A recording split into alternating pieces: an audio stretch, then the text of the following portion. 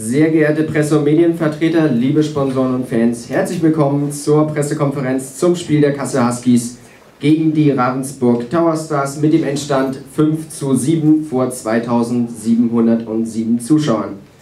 Ich begrüße hier vorne den Gästetrainer Jiří Ehrenberger und den Trainer der Kassel Huskies Rico Rossi. Das erste Wort hat wie immer der Gast Jiří Ehrenberger, Ihr Statement zum Spiel. Ja gut, erstens guten Abend. Ja gut zum Spiel.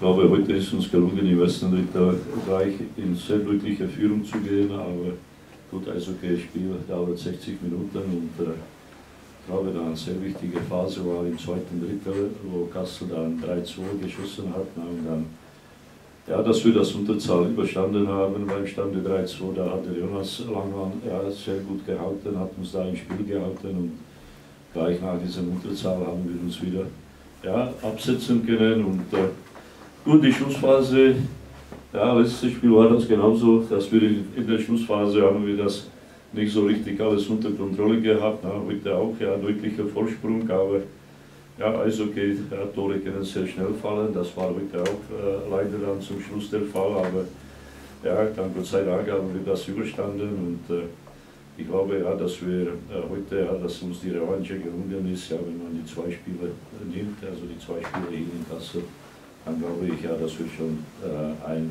einen oder anderen Punkt verdient haben. Und das freut mich natürlich für uns, für unsere Organisation, dass wir von Kassel mit drei Punkten nach Hause fahren. Danke, Jiří Ehrenberger. Rico, deine Einschätzung zum Spiel. Ja, Dankeschön. Gratulation an Jiří und seine Mannschaft. Ähm, ja, erste vier Minuten, geschenkt zwei Tors. Und dann kriegst du die dritte Tor auch geschenkt. Dann stehst du 3-0 und kommst du aus im zweiten Drittel, zeigst du ein schon gutes Charakter, zurückzuschlagen zum 3-2 und verlieren wir Chance am Ende die 3-3 zu schießen. Trotzdem kannst du aus diesem Drittel kommen 3-2, bist du auch schon in einem guten positive Weg.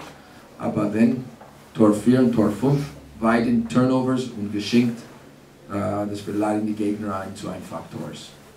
Ähm, letzte Drittel kommst du aus und das Spiel ist eigentlich vorbei, aber trotzdem die Mannschaft versucht alles, bringst du wieder in Position mit 2, 6 gegen 5 Tors. Das ist selten gemacht, aber es ist zu wenig, zu spät. Solange wir weiter mit diesen komplizierten Entscheidungs- und diesen Turnovers und Giveaways und die Gegner einladen zu Tors, wird es, wird es nicht besser gehen. Wir müssen einfacher Entscheidungen, wir müssen routinierter Entscheidungen treffen. Das werden wir schon aufarbeiten in der nächsten Zeit. Danke, Rico. Gibt es Fragen der Presse- und Medienvertreter? Rico, so kann es nicht weitergehen. Ähm, das, was wir heute erlebt haben, haben wir in den letzten Wochen zu oft erlebt. Äh, muss euer Spiel, eure Spielstruktur äh, auch geändert werden, dass ihr nicht so oft ins offene Messer lauft? Die Frage, ob die Spielstruktur geändert werden soll. Eigentlich nicht, weil die gleiche Struktur ist die gleiche Struktur, das hat alles äh, vor dieser Phase auch die gleiche Struktur. Das ist eine, eine, eine Periode, wo die Jungs suchen komplizierte Entscheidungen. Irgendwie irgendwo. Die Struktur hat sich nichts geändert von die guten Zeiten zu jetzt die schlechten Zeiten. Das kommt aus die, die Entscheidung, die wir treffen in diesen, innerhalb dieser Struktur. Im Moment suchen wir die komplizierte, ähm, schöne Entscheidung statt die Gradlinie einfach Entscheidung. Gibt es weitere Fragen? Rico, die Mannschaft wirkt äh, ja auch sehr verunsichert. Brauchte sie nicht irgendwas, was, was ihr ein bisschen Sicherheit zurückgibt jetzt? Äh, dass sie nicht immer in diese Konter dort, wie ihr ja ein Tor nach dem anderen Die Frage, ob die Mannschaft äh, an Sicherheit verloren hat, ob sie äh, an Sicherheit irgendwie in irgendeiner Weise hinzugewinnen kann.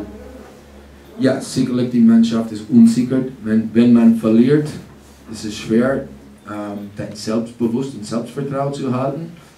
Aber nochmal, die besten Weg aus diesen Situationen sind mit den routinierten Einfachentscheidungen. Und das im Moment äh, tun wir schwer. Gibt es weitere Fragen? Nochmal, ähm, die Stimmung in der Halle war ja heute auch fast schon gespenstisch. So, viele, so wenige Zuschauer in so einer Phase und äh, dann ist die Stimmung auch ja, wirklich so deutlich wie noch nie, seit du hier bist, gegen dich gewesen. Wie gehst du mit dieser Situation um? Die Frage zur Stimmung in der Eissporthalle, ähm, wie Rico Rossi mit, äh, ja, auch mit den Plakaten, die hochgehalten wurden, umgeht.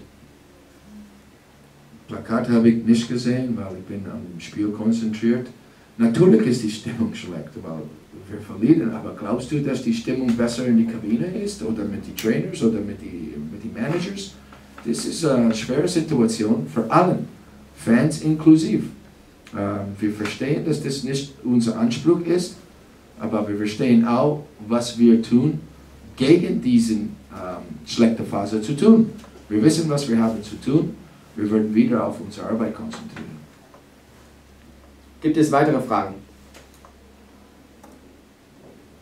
Das ist nicht der Fall. Kommen wir zu den Zwischen- und Endständen aus den anderen Hallen.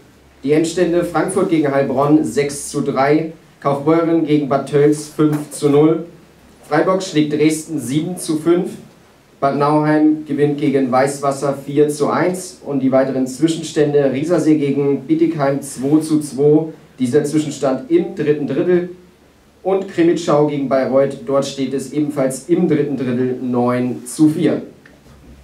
Die beiden kommenden Begegnungen bestreiten die Huskies auswärts am Sonntag ab 17 Uhr in Dresden und am darauffolgenden Freitag ab 19.30 Uhr in Weißwasser. Das nächste Heimspiel findet hier in der Eissporthalle Kassel am Sonntag, den 4. Februar statt. Dann treffen die Kassel Huskies auf die Bayreuth Tigers. Ich bedanke mich für Ihr Kommen und wünsche Ihnen und insbesondere dem Gast einen guten Heimweg.